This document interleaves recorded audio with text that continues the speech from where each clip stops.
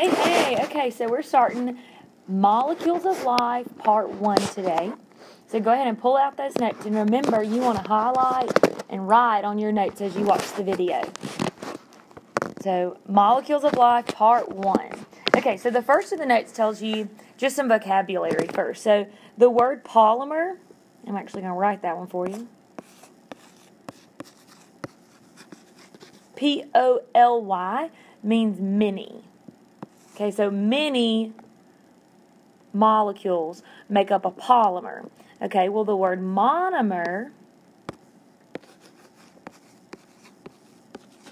is single. That's a one. So many monomers put together make up a polymer. So M O N O means one. So that first that first um, number one on your note says that polymers, these are formed from individual units called monomers. So, for example, um, the bricks of the school make up the school. So, the bricks would be the monomers, and the school would be the polymers. So, as we go through this, all the different molecules that we talk about in this video and the next video, the polymers have a monomer. Okay, so the monomers are linked together by covalent bonds. And a covalent bond, what that means is that they share the electrons. So covalent bonds are really strong bonds and they share electrons. These, it says, these are another example of the theme where structure equals function. And so those the folding or the structure of an organism or a molecule helps it do, helps it do its function. So today we're going to talk about carbohydrates and the way they're folded has a lot to do with their function. Okay, so macromolecules are formed by dehydration or condensation reactions. Okay, so if you look at this right here, this picture is showing you the purple is this purple right here. So this is three monomers linked together. And this is, so here's three monomers linked together, and here's another monomer. Okay, well, if you remove water, see the H of this one and the OH of that one, you remove water, then they go together to make one polymer. Okay, so D, removal of water, dehydration, the removal of water puts molecules together. And that's where energy is stored. And so your notes say that the hydroxyl is removed from one molecule and the hydrogen is removed from another. H and HO make H2O, that's water. Dehydration, removal of water.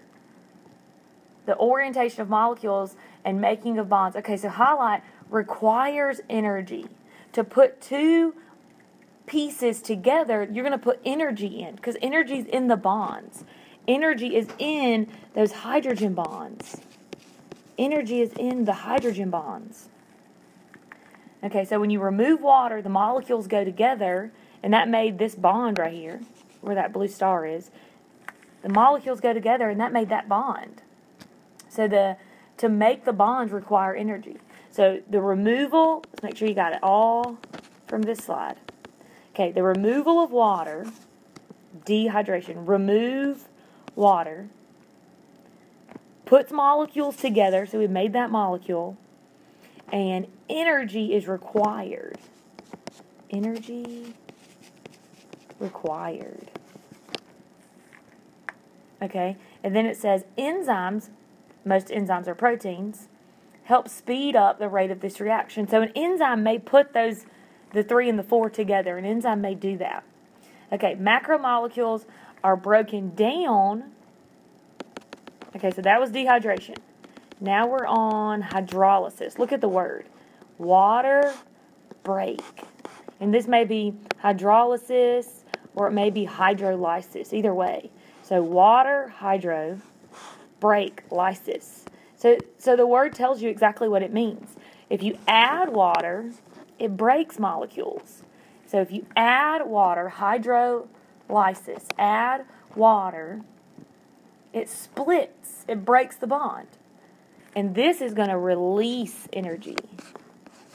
Okay, so this one releases energy.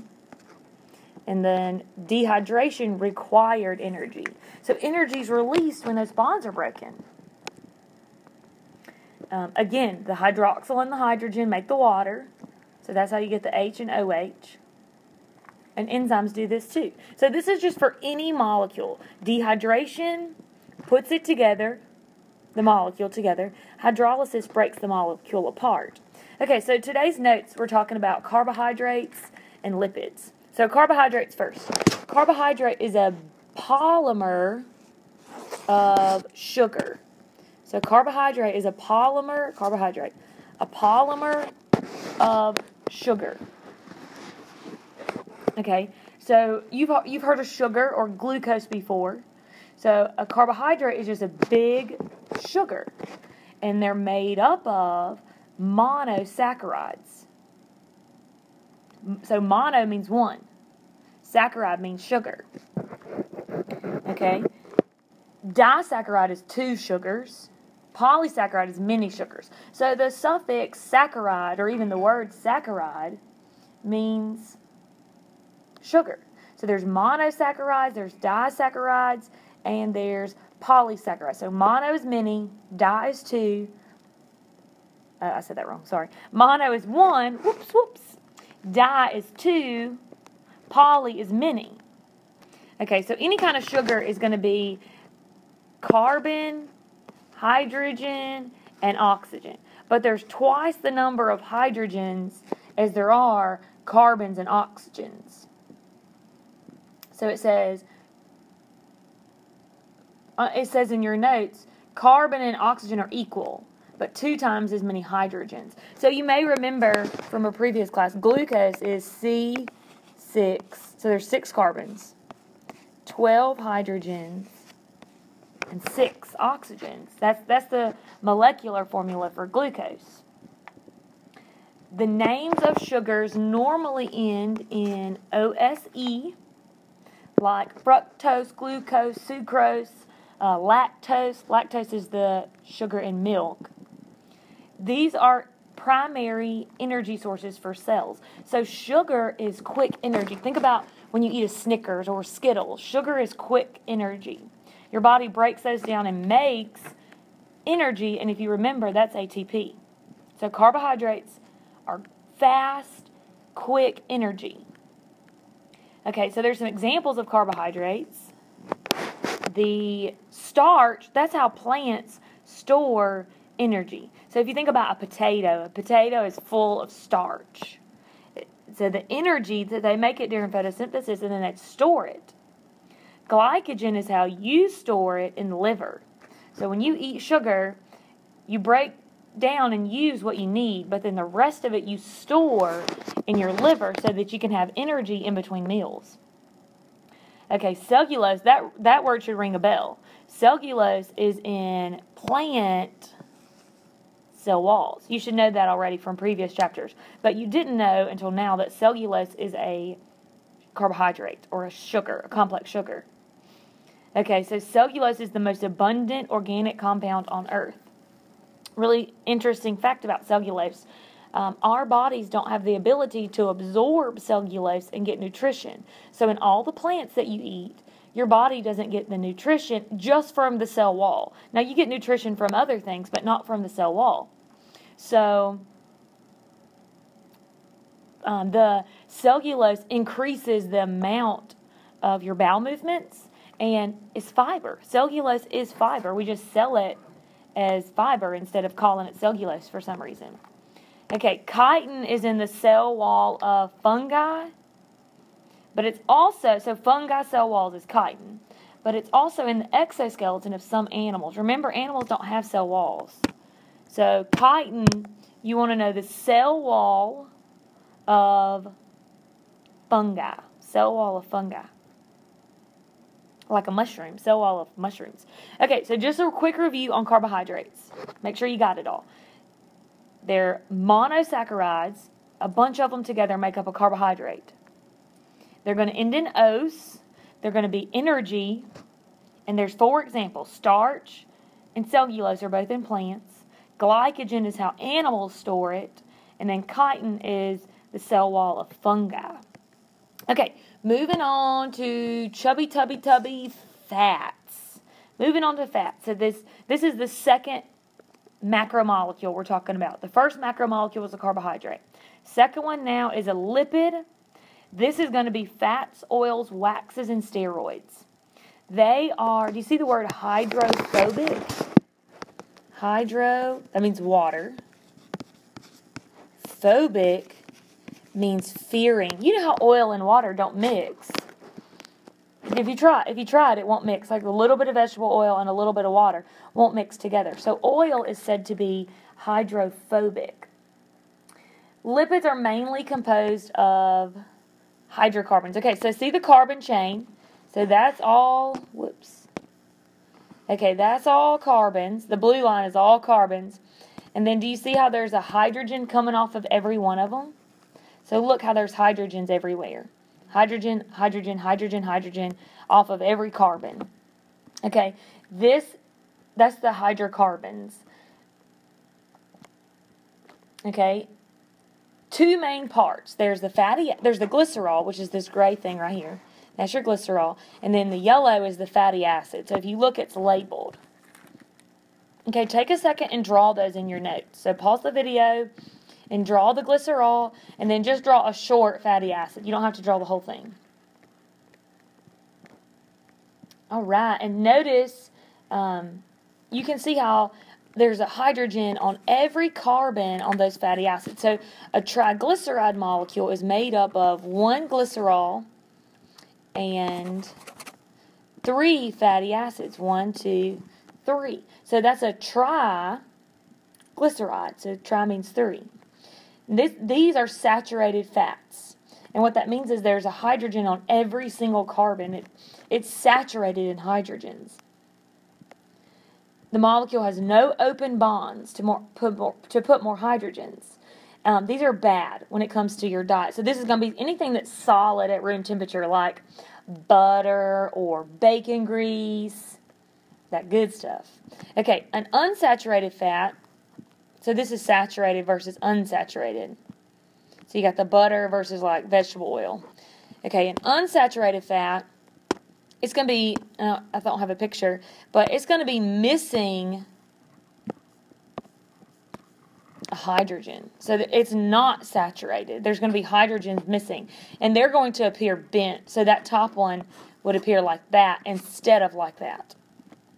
And so if you remember back to the phospholipid, there's a saturated lipid, and then this one is unsaturated. That's why it's break. That's why it's bent.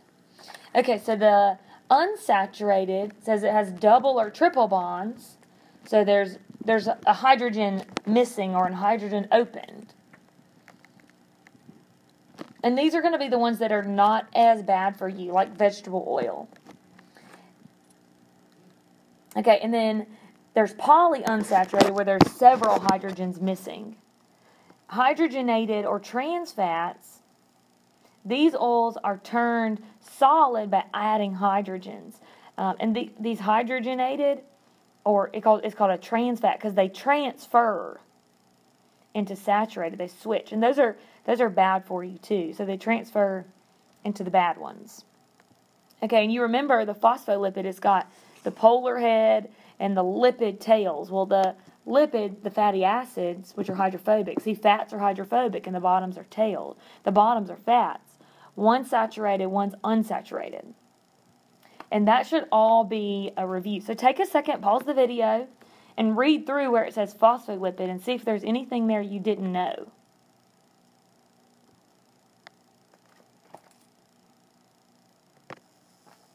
Okay, um, remember the phospholipids are in the cell membrane, phospholipid bilayer. Okay, waxes are just alcohol and oil. So what makes lipstick, um, a lot of what, what makes crayons, things like that. These are lipids made by combining alcohols with unsaturated oils. Okay, here's a steroid, and I, th- always think it's like three hexagons, I guess, and then um, the top one looks like a house. So it says four carbon rings with the top one looking like a house. And this is cholesterol. Y'all remember that cholesterol is in the cell membrane. You see it right there, the yellow? So cholesterol is in the cell membrane, helps to keep it fluid and flexible. But excess cholesterol would be bad for you. It could stop up your stop up your arteries and veins and cause a heart attack. And then it says lipids are stored in adipose tissue. You know ADIP means fat. Lipids are stored in adipose tissue in animals that can lead to obesity. Okay, so just a quick review. Make sure you know carbs. We talked to, today. We talked about carbohydrates and lipids. Okay, carbohydrates are going to be quick energy. Lipids are going to be stored energy. So think about energy with those hydrogen bonds. Carbohydrates end in ose. Carbohydrates are made up of monosaccharides. Lipids are made up of the glycerol and the fatty acids. Okay, and then make sure from today you also know dehyd- dehydration, which is the removal of water that builds molecules and stores energy, and then hydrolysis, which is the addition of water and the breaking of bonds. So make sure you got those two, and I hope this video was helpful.